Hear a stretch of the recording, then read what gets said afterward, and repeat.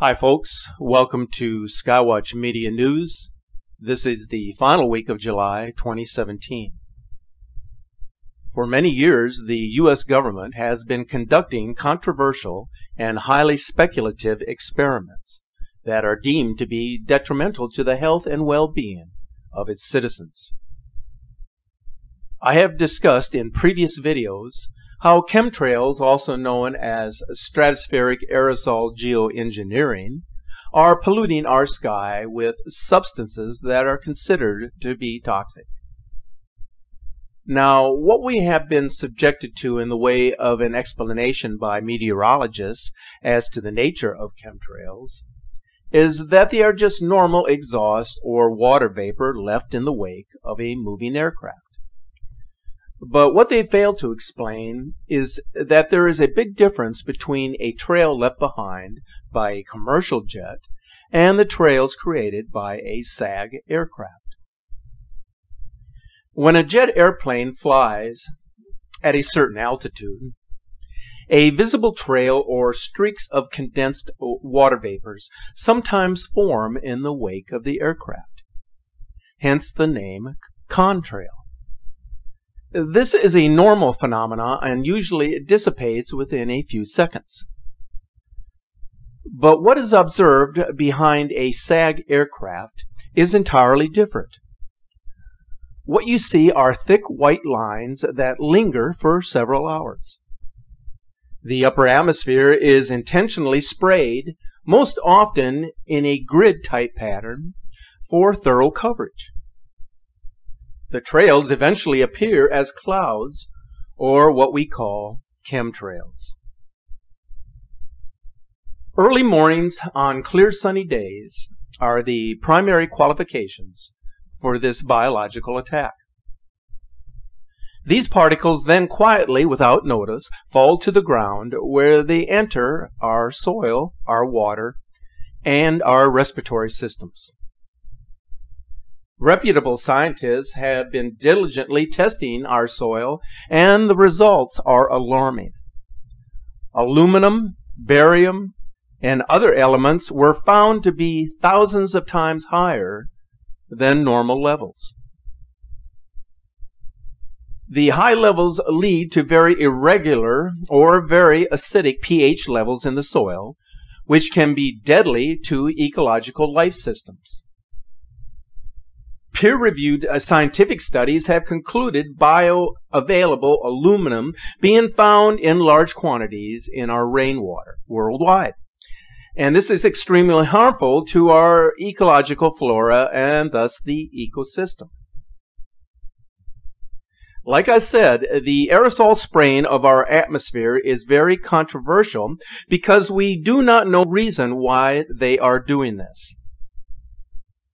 There has been a great deal of speculation on the reasons, ranging from weather warfare through manipulation of our weather patterns to the concealment of an incoming rogue planet or a second sun.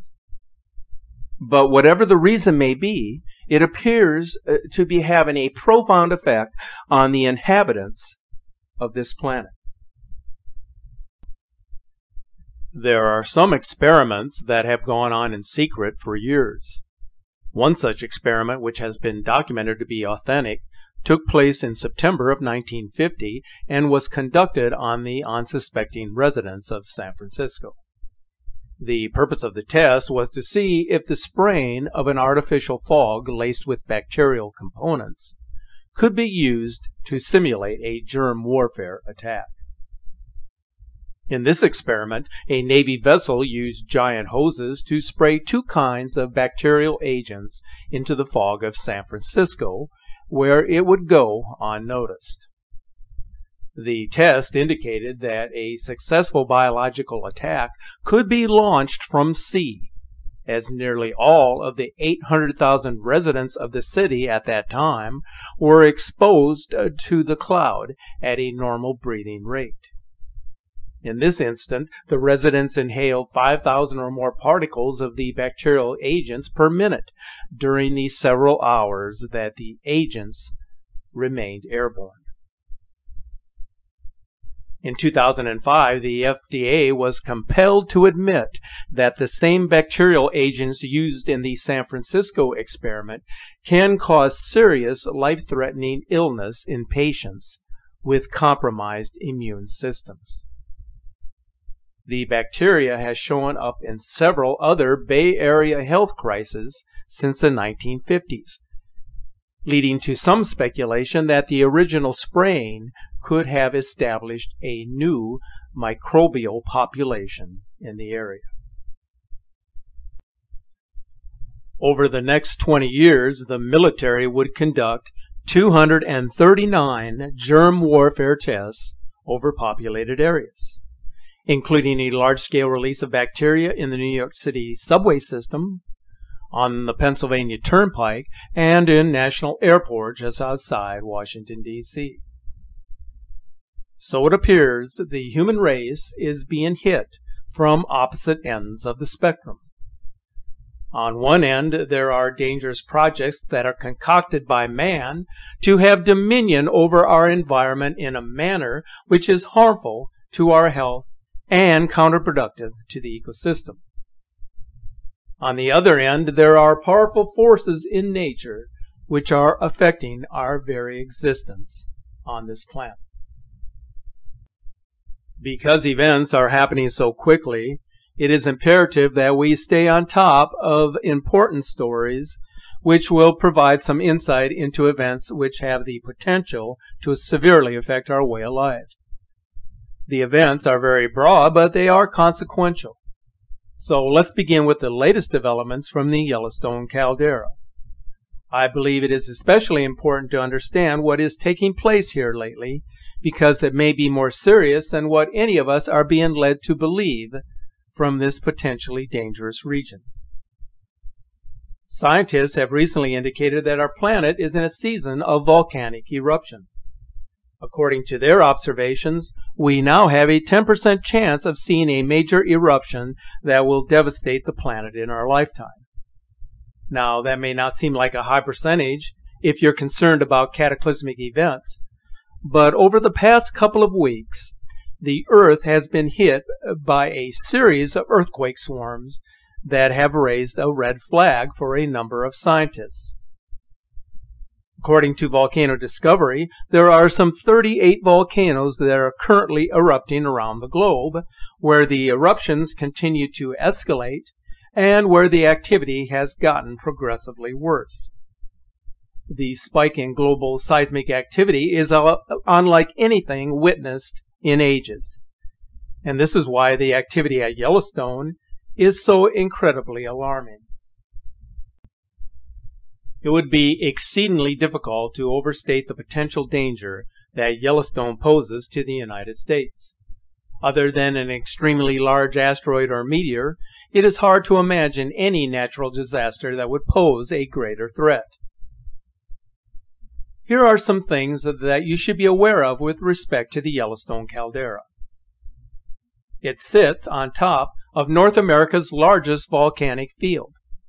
400 miles under the Earth's surface is a magma hotspot that reaches up to just 30 miles below ground level before spreading out over an area of 300 miles across three states. Over all this sits a volcano with its catastrophic potential. It could blast 240 cubic miles of ash, rocks, and lava into the atmosphere, rendering about two thirds of the nation uninhabitable, according to some estimates, and plunge the world into a nuclear winter. Everything within a 100 mile radius of the volcano would be immediately destroyed. Further away from the epicenter, volcanic ash would rain down for weeks. In fact, it has been estimated that a full blown eruption would dump a layer of volcanic ash that is at least 10 feet deep, up to 1,000 miles away from the epicenter. Food production in America would be almost totally wiped out, and the volcanic winter, winter that would result from a Yellowstone eruption would dramatically cool the planet. So there are certainly many reasons to be concerned that something strange is going on at Yellowstone at this time. Although the chance of this happening lies at 10% in our lifetime, the threat level of such an event on our survival far outpaces that of asteroids, nuclear war, earthquakes, and climate change all combined. The far reaching planetary effects of the magnitude of this event, combined with the financial and political instability of any individual country affected by this event, pose the highest associated risk of any other known disaster. Simply stating, the world is not prepared for this. If we journey back into the annals of time, we get a much clearer picture of the devastating effects of volcanic eruptions that have the potential to do real harm to our planet. The eruption of Tambora on Sumbawa, Indonesia killed well over 100,000 people. But ash clouds meant there was no summer the following year, and it was one of the most important climatic and socially repercussive events of the last millennium. The earlier Icelandic event killed close to 10,000 instantly, but the long-term effects wiped out 25% of the population and were felt across the planet. A famine in Egypt reduced the population by one-sixth. 25,000 died in the UK from breathing problems, and there was worldwide extreme weather. Similar events today would be much more catastrophic due to population concerns, lack of sufficient food commodities, a dramatic cutback in world travel, and the reliance on technology. According to scientific research of volcanic activity over the last 300 years, we are currently in a volcano season. Simply stated, we are in a period of dramatically increased activity. What's happening at Yellowstone uh, with numerous earthquake swarms in a very short time frame is worrisome uh, not only to the scientists who monitor its activity on a daily basis, but also to the public in general. To say that volcanic activity has seen a huge uptick is certainly an understatement. But Yellowstone caldera, as potentially dangerous as it is, is not our only concern. Unusual seismic activity is happening now at the Katla subglacial volcano in Iceland. One of the world's strongest volcanoes, which is situated below the ice cap, has seen an unusual series of 38 quakes in a span of just a couple of days, beginning on July 26th, including the largest quake to hit the region since 1977. What's even more unusual about these quakes is that they have apparently released a significant amount of hydrogen sulfide into the glacial rivers that carry meltwater from the volcano. This could be a troubling sign of what could inevitably happen as this volcano continues to build up pressure. If it were to violently erupt, it could have a profound effect on the glaciers of Iceland, and we all know what that could lead to. But there's even more bad news from this region, as something strange is going on here. The largest seismic swarm in years has hit the Reykjanes Peninsula, where more than 500 quakes have been registered in a 24 hour period. There is a great deal of concern surrounding the latest events from this area because the quakes took place in the region where the uh, tectonic plates meet. So clearly something unusual and very discerning is happening here. Not far away in Greenland, mysterious steamers are rising from below a glacier in what is being reported as an unprecedented event.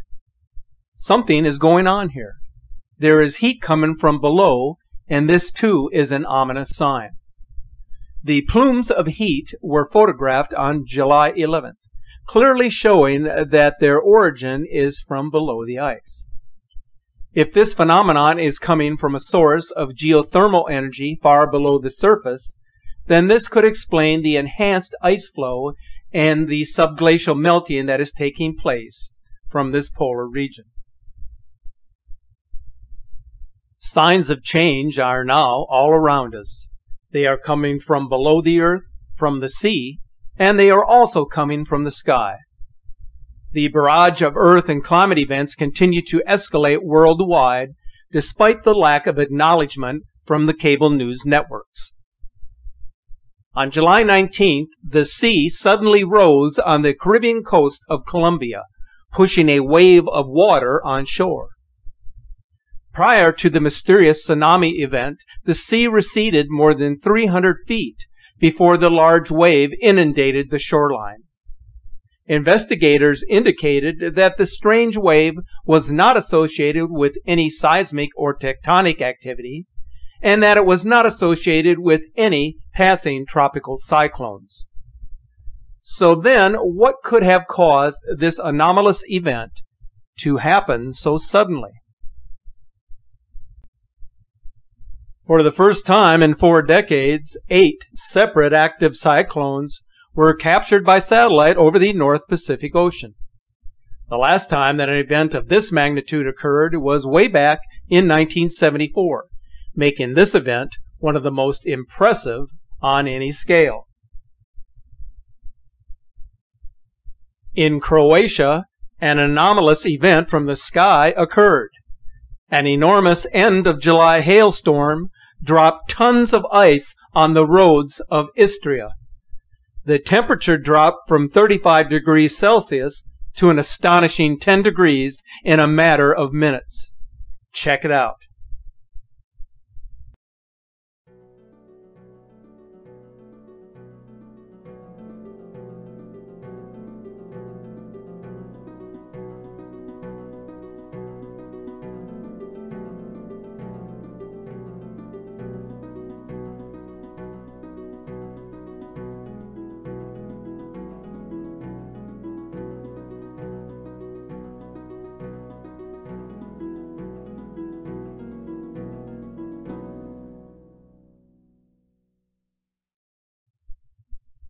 One day earlier in Grottammare, Italy, a massive hailstorm dumped tennis ball size hail on this coastal region, covering the city in 10 to 15 centimeters of ice in this extremely rare event. Take a look.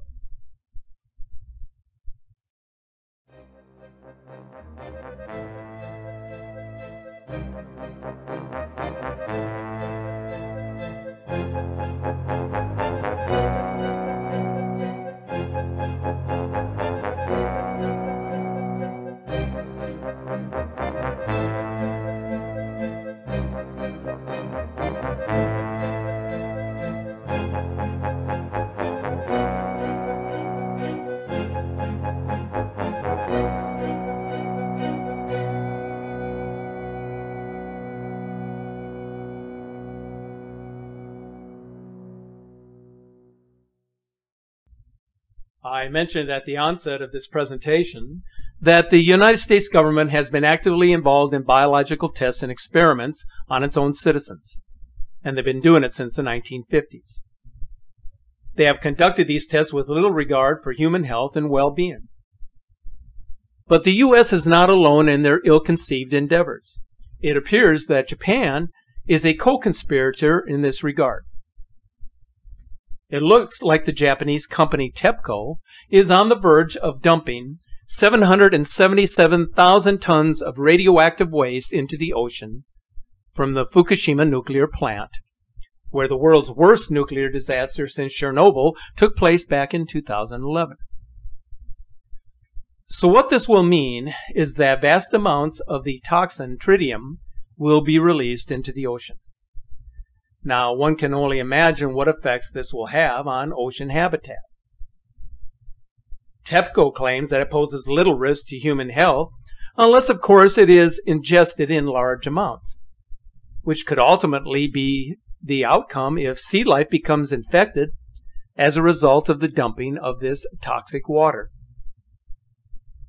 Certainly, the releasing of this toxin into the sea will create yet another round of rumors on how the Japanese authorities are more concerned about the disposal of the toxin rather than the ramifications of what it will do to the environment and to sea life in general.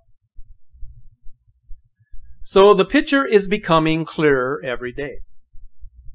This planet and all that dwells therein is hanging in the balance. The human race is its own worst enemy. We, as stewards of the planet, have failed in our promise to keep the world safe for future generations. Our self centered greed and our obsession with materialism is destroying the very fabric of our society. Because of our ignorance and unwillingness to change, we have brought upon ourselves the day of reckoning. There is a great wrecking ball hovering over us, quickly approaching to bring in the time of purification, as was so eloquently described by the Hopi elders in their address to the United Nations in December of 1992.